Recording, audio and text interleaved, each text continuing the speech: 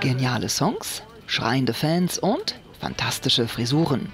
So wurden die Beatles eine der größten Bands aller Zeiten. Auch 50 Jahre nach der Trennung geht der Hype um die Pilzköpfe weiter.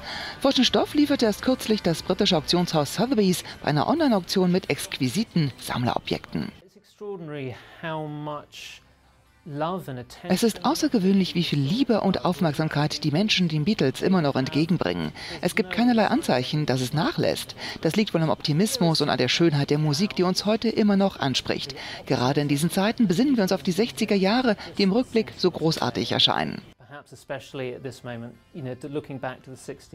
It just seems like such a glorious time.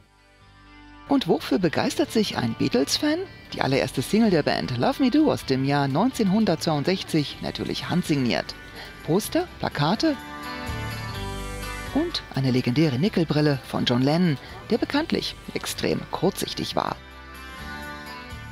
He started wearing er begann 1966 in der Öffentlichkeit eine Brille zu tragen, nachdem er in dem Film Wie ich den Krieg gewann die Hauptrolle gespielt hatte und dafür eine Brille trug.